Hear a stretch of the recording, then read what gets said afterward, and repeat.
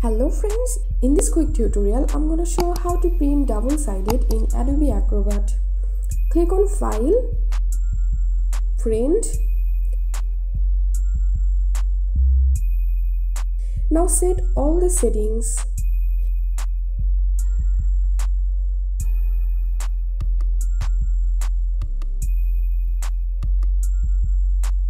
Make sure to check this print on both sides of paper and select flip on short edge. Now click on print. That's it for now. If you benefited a little from this video then make sure to subscribe this channel. Thank you.